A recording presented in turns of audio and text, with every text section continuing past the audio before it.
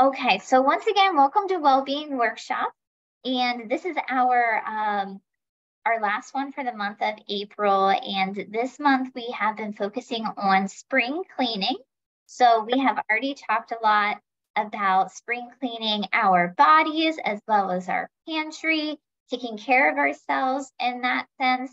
So we're rounding it out today with one of our pharmacists, Dana, and going to be highlighting our medicine cabinet and why it's important to keep that in check.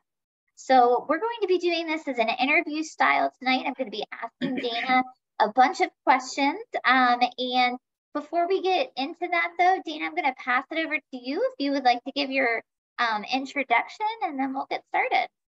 Hi, everyone. I'm so excited to be here. I always love doing these things. Um, I always learn so much from our, our dietitians. So I'm always happy to hop on. Excuse me. My name is Dana Volpe. I am a pharmacist with the Giant Company. I've been with Giant for so 11 years, uh, 12 years. And um, I work out of the West Chester area. That's my my home base, but I travel around and I do a lot of vaccine clinics and wellness events and I always love working with our our dietitian. So I'm so happy to be here. All right, sounds good. Thanks, Dana. Okay, so our first question for you is as a pharmacist, what do you keep in your medicine cabinet? All right. So there's nothing special about my medicine cabinet, I'll be honest. So, um, the first and foremost, you want to think about what do you want to reach your medicine cabinet for besides your regular prescribed medications from your doctors? If you have a headache or you have um, aches and pains or a fever, you always want to make sure that you have something that you can reach on hand that is unexpired. Um, so I always have this is uh, an acetaminophen product or Tylenol.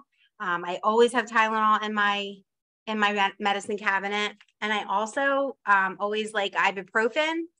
Ibuprofen is also a pain reliever, fever reducer, um, but this has anti-inflammatory effects. So if you have a sprained ankle or if you have any kind of inflammation going on, ibuprofen is the one that you want to reach for.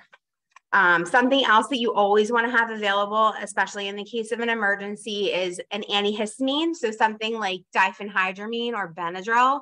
Um, this is very important to have in case anyone has an allergic reaction at your house, like a food reaction or bug bites, um, any kind of rash or or um, uh, topical allergic reaction, you always want to have unexpired Benadryl in your house. It's important um, to be able to reach for that really quickly. So they're like my real my staples that you always want to have. You want you want to make sure that you always have those in case of an emergency.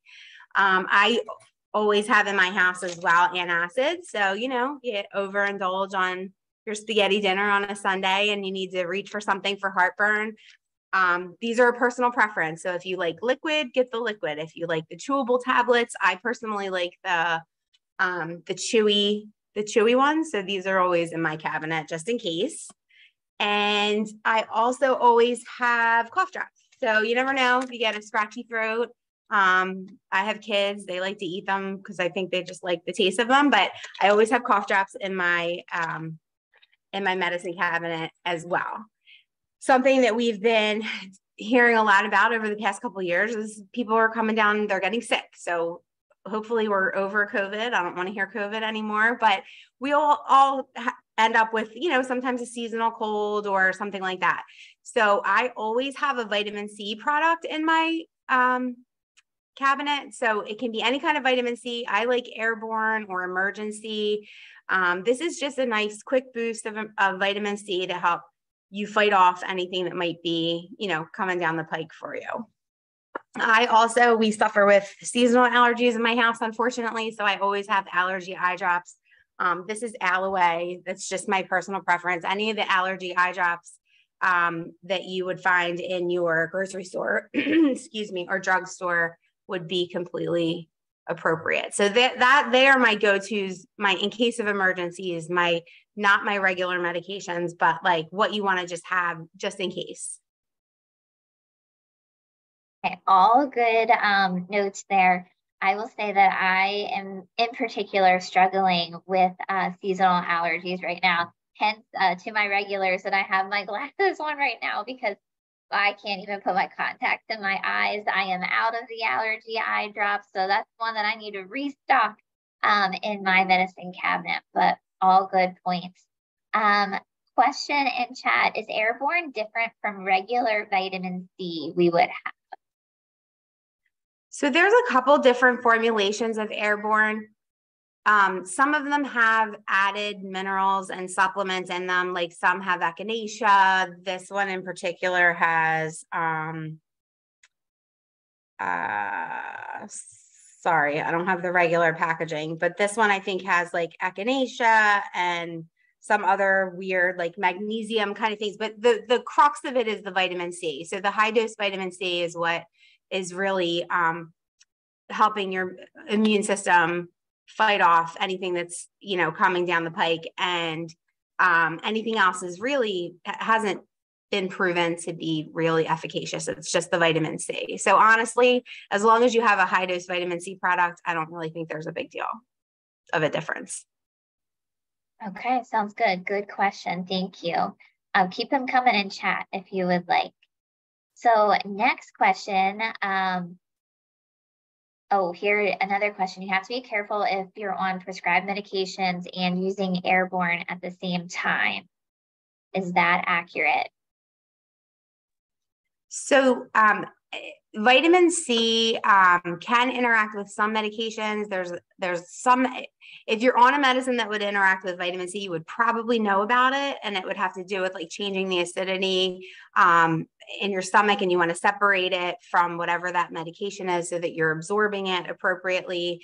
Um, some people who take things like thyroid medication, if there are magnesium or um, iron or something like that in with the vitamin C, then yes, that would interact with your thyroid medication. You want to separate that by at least two to four, two to four hours, um, two hours before, four hours after. So yes, very good question um, you want to make sure that it's not interacting with your regular medications. Okay. So next question is, now that you've chatted a little bit about what you keep in your medicine cabinet, do you have any general tips about how to organize that medicine cabinet? Is that important at all? Yeah, so um, you want to keep the things at the front that you want to reach for quickly. So I always have um, the Tylenol, the ibuprofen, and the um, allergy stuff like right there at the front. And that also keeps them on my radar so I can say, like, oh, hey, when's the last time I bought this? Maybe it's expired. Might want to rotate this out. So you, for me, I have a pull out shelf in my kitchen, which is my my medication um, shelf. It's ridiculous at this point. But um, all the stuff that I would reach for normal commonly or things that I would want to reach for quickly, I would have them in the front. Other things that I have um, that I didn't mention that I do keep in my medicine cabinet are first aid products. And I like to keep my first aid stuff organized in like a container like this. Sometimes you can purchase, I think I got this at like Home Goods or something, and I thought it was adorable. But sometimes you can purchase um, a first aid kit from a store. Like they have it all packed together, soup to nuts. I like to make my own and I keep it in there because if something happens, say, you know, my kid falls outside or somebody falls upstairs, I can go into the medicine cabinet, grab it, and have everything that I need for a fall or a sprain or a cut right there. Um, you know, and I can take it with me. So some of the things that I keep in there are band-aids, um, everybody has band-aids, right? So I just keep them in my first aid section. Antibiotic ointment, this is polysporin. This is the recommended antibiotic ointment for um, cuts and, and scrapes and, um, excuse me, surgical wounds. Um, so I always have polysporin in my medicine cabinet. Also, um, any an itch relieving cream. So this is a hydrocortisone, a 1% hydrocortisone product.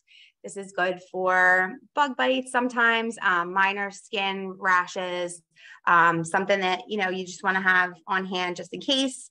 I keep an ACE bandage or a, a elastic wrap. I have gloves in there. I keep transparent dressing. Um, this is good for minor wounds or, or burns um, if they're not anything that you have to go to be seen. I also keep in there um, a hot cold pack, an instant hot cold pack in case you need ice or I don't have it in my freezer ready to go. Um, and I also leave in there some hydrogen peroxide just in case. So that I keep behind my regular stuff that I hope I don't ever have to reach for that. But if I do, I have it all in one place and I can just take it out and get what I need out of there. Okay, yeah, great, um, great suggestions there. I know I'm in the same boat uh, with my daughter, and I feel like I I can't have enough band-aids on hand. Um, uh, question in chat. I see something about expiration dates. We'll get to that in a moment. Um, but kind of going along the lines of burn of first aid, there was a question of what do you use for burns? Like, do you keep anything on hand for burns? So I actually did have a burn a burn cream in there. There's kind of um differing opinions on what you do with a burn. Really, just as long as it's not a severe burn that you would have to go to the ER for. If it's a minor burn, like a curling iron burn, we get those all the time in my house, or you know something little at the stove, like a, a, a you grab the pan the wrong way or something. As long as it's not um, a really severe burn, just keeping it clean, um, washing it with water, maybe even a little bit of, of soap. Um, keeping it really clean and dry, and you can dress it. I don't think I I think I forgot to show you, but I do also keep gauze in there just in case. Um, just covering it with gauze. I used to have burn cream, but it would expire and I just didn't really see a need for it. So you can have burn cream in there. There is first aid cream, it's called, or um, for a minor burn that you would get, you know, you wouldn't need to seek help for just keeping it clean and dry and sometimes wrapping it with gauze if you know that you're going to be somewhere where it's going to be exposed to the um, to dirt. Okay. Um, you sparked a question for me with your first aid kit. The polysporin, is that the same as neosporin? So it is actually different. So polysporin, neosporin has an added antibiotic in it called neomycin. And what's happened through the years is since so many people have been using neosporin, we're seeing a lot of neomycin allergies. Um, so they're kind of not recommending the neosporin anymore, although it's fine if you don't have an allergy that you know to neomycin and that's what you have in your cabinet at the time, it's okay. But polysporin is the preferred antibiotic cream slash ointment um, for minor abrasions or um, cuts. Okay, yes, that's why I asked because I have allergic reactions to neosporin. Yeah. Um, so good to know. Um, I saw somebody mentioned, um, are, are you, how do you feel about the recommendation of using aloe gel for burns? Sure, aloe's fine um, as long as it's clean. And and I don't know that aloe has an expiration date on it, but I know like I had a container of aloe that kind of went back and forth to the beach and it looked nasty, and that's nothing that I would want to put on a cut. So as long as you make sure that it's clean and not expired if it does have an expiration date on it and the dispenser part is clean you know because you're putting that right on an open wound i think aloe is fine. Okay and then similar to that can the neosporin or polysporin be used on burns? Absolutely yes. If you okay. think it looks nasty or if it's really red around the edges that's usually when we would recommend putting some kind of an antibiotic ointment on it. Okay and then going back to some of your go-to staples in the medicine cabinet, there was a question of what do you think about naproxen or Aleve? Is there any benefit that is different from acetaminophen or ibuprofen? So, like we said, ibuprofen has anti-inflammatory properties. So um, that sometimes is good for um, sprains or muscle injuries, things like that. Naproxen um, or Aleve, I think was there another one in there that they asked about? Oh, naproxen and Aleve. Yeah. Yeah. So naproxen and Aleve um, are along the same lines as ibuprofen. They are pain relievers, fever reducers, and anti-inflammatories. So again, it's like a personal preference. For me, ibuprofen, you can repeat it every four to six hours, whereas naproxen, you really shouldn't repeat it before 12. So I always like ibuprofen because if I need to repeat, if I feel like it's not, you know, working or or if it's wearing off, I can repeat it sooner than I than with naproxen. So that's just why I choose ibuprofen. Okay. All right. Um, so there have been some questions about expiration dates, which is what we definitely want to dig into here. So um, why is it important to um, make sure that you're getting rid of things that are expired Um, there was a question specifically of, is it okay to use Benadryl or Mucinex after it expires? If you would want to dig into that. So the, with Benadryl, it's a little complicated. if expired Benadryl is all you have and someone's having an allergic reaction, like a severe allergic reaction, I would say go ahead and give it. Overall, we don't want to use expired products because over time, if, if they're beyond their expiration date on the package, they cannot be guaranteed to be effective or at the same chemical composition as they were when they were within their expiration. So that means that they can be less effective. Um, so we're taking this medication, but we're not getting the full benefit from it. So we might need to take more, and that you know, it just is is a slippery slope with expired medicine. In most cases, is it probably okay? Yes, but it's not really a risk that we want to take. Going back to that Benadryl question, if that's all you have and someone really needs Benadryl, then I would say go ahead and give the expired Benadryl. That's um, just on a case by case basis. But in general, we want to do this yearly spring cleaning, go through, just check your expiration dates. And like, I think this ibuprofen, honestly, I got it at Giant. I think the 50 count were like 299 or something like that. Some, you know, you, you just want to make sure you're not taking expired product because it might not be worth it to, to have it. Okay, so once we find those expired products, how should we um, dispose of them? That's a great question. So, the number one way to ex- dispose of expired products is through um, like a community take back program. So, they usually have like a medication take back day. It's um, something that's I think the DEA organizes it, and some pharmacies will host it. Um, police stations host it. They'll have a big take back day, so they'll put um, some kind of a dispense, um, a receptacle in certain areas with an attendant, and you can go and drop off your expired medications, and then they dispose of them however they dispose of them. I'm not sure what they do. Some uh, police stations have them all the time. So I know, like in my township, one of my police departments, um, they have a receptacle in their lobby all the time. Um, so in that case, you would just remove them from their regular containers because you don't want your name on them out there, right? So like, take your personal information off your bottle, take the bo- dump the um, tablets or capsules into a bag, and take them to a receptacle somewhere that is a, a actual take back um, through a take back program. If that is not possible, um, you can always, again, remove the tablets or capsules from their original containers and put them in something that would make them undesirable to humans or animals, like coffee grounds, cat litter, dirt. Um, put them in a plastic bag, mix them all together, and then you can throw it out in your regular trash. So if that's if you can't find a take back program, um, then you you know you want to do that um, and, and throw it away in the regular trash. The exception is for certain medications. If you take an opioid or an opiate pain reliever, those should not get thrown in the regular trash. Those should be flushed down the toilet. So let's say you were prescribed Percocet or oxycodone after a surgery and you have some left over, you didn't use them all. You don't want to hang on to those. They're just a danger um, and a mistake waiting to happen. You want to get rid of them. And the FDA and the CDC say the best way to do that is to flush them down the toilet. The risk to um, an accidental exposure of them being thrown in the trash to a human or an animal is much less, um, it outweighs the potential risk of it, you know, doing something in our in our sewage system. So that's the only exception. They can be flushed or they should be flushed. Okay, and on the note of the opioids, um, how is a, a good way to store those? Yeah.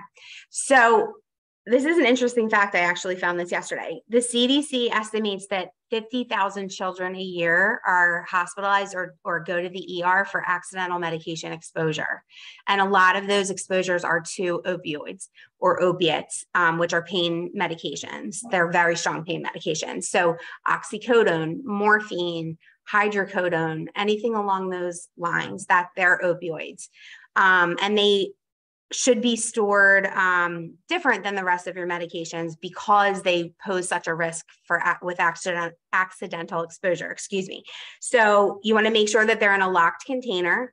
Um, you know, if you can keep them in a safe or a box or somewhere that's out of the way where people not with your regular medications so that somebody doesn't accidentally pick it up and think it's Tylenol or something. So keep it completely out of the way where only the person who is prescribed it knows where it is.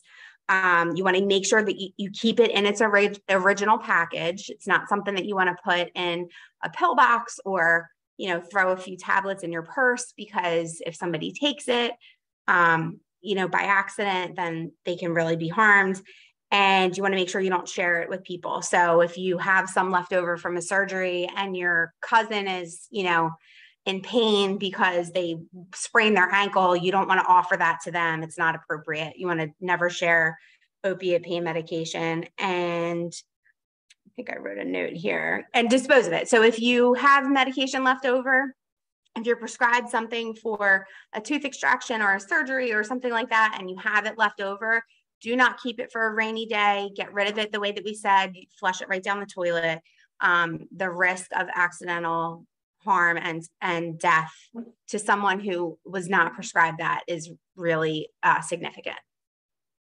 Okay. Um, kind of following up on that, some folks in chat have said that they have heard before that um, you should maybe take those types of medications back to the pharmacy as a recommendation from their um, their township because unless local, sorry I'm so yeah. sorry. So unless your pharmacy has a take back program, which means it is it is a receptacle in the pharmacy that is um, organized through a take back program. Unless they have that, a pharmacy cannot take that back. That's not something that we can dispose of ourselves. Okay. All right. And it sounds like somebody mentioned something you mentioned you said earlier that uh, their local police department will usually accept those expired medications too. Yeah. So that could be another outlet. Mm-hmm. Good. I put myself on mute. Didn't mean to. Okay. So um, moving on, I think you um, you briefly said something about um, pill boxes. So mm-hmm. I know a lot of people um, choose to store their medication and organize their medication in a pill box. Is there anything um, that Giant can do with to help with that. I've heard that maybe you can get one free from the pharmacy, or if you want to chat about that. Mm-hmm. So most, if not all, of our Giant pharmacies have free pill boxes. So this is mine. Um, it says Giant Pharmacy on there, and it's Sunday through Saturday. Um, this is big enough for me to have my regular medications and my vitamins. They're nice big wells. Um, so it's an, a simple one well per day, um, seven day pill box. And that just helps keep me on track. I fill it every Monday. So I filled it today. It's completely full with all my meds. Um, and, you know, let's be honest, like sometimes the day just gets away from you and you can't remember if you took your medicine or not. It happens to me all the time. So I know if I go to my pill box and the pills are still in there, then I forgot to take them and I know that I, you know, I have to take them. So for me, it's a really good reminder um, tool so that I can stay on track with my medication. Like I said, this is a simple one. This is just, you know, one one well per day. If you're on a more complicated medication regimen where you have to take things two times or three times a day, um, this might not do it for you. Uh, there are some that they're not free, but um, we can order them for you or we have them in stock where there would be like four wells or an AM and a PM. So it would be seven days, but there would be an AM and a PM or even like morning, noon, afternoon, and evening or bedtime. So um, they're just really helpful to keep you on track with your medication. And, you know, if you're filling it a week in advance, like I almost reached the end of one of my prescriptions today. So I have to call the pharmacy and I have to get that refilled. So it's a nice reminder to keep my refills on track as well. Yeah, I was just gonna say, you know, do you have any suggestions about staying on track with your refills um, yeah. and making sure you get them in a timely manner? So I'm sure the pill box helps. On top of that, um, our pharmacies have a medication synchronization program. So we can sync your Medicaid if you're on a lot, or even if you're on like a few, we can sync your medications so that they get filled all at the same time. So you don't have to make multiple trips. I mean, how many times have we like been there on a Monday and you get a call on Thursday that something else is ready for you? So we can sync them all together at once. You can pick them up once a month or once every three months. Um, and we, you know, we'll send you reminders when it's ready when you're ready to um, come and pick them up ask if there's been any changes so if that's something you're interested in visit your giant pharmacy and see if there's something that they can help you with there yeah that's really awesome to hear mm-hmm. i definitely didn't know you guys could do that i should yeah. tell my gram because i feel like she's always in that boat of well i have to yeah. get a ride over there to get my next prescription and stuff so that's yeah. great mm-hmm. um, a question in chat of if you forget your morning pills and realize it when you take your nightly pills, should you take your morning pills or just wait until tomorrow? So it depends on what it is, right? So if it's a once a day medication and you were supposed to take it in the morning um, and you realized at night that you didn't take it, you you can probably go ahead and take that dose.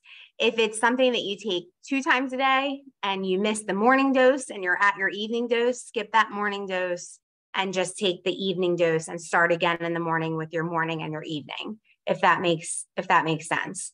Um, there's some medications there's a few of them out there that you want to make sure you take at the same time every day and if you're on those you know what they are um, and you don't want to kind of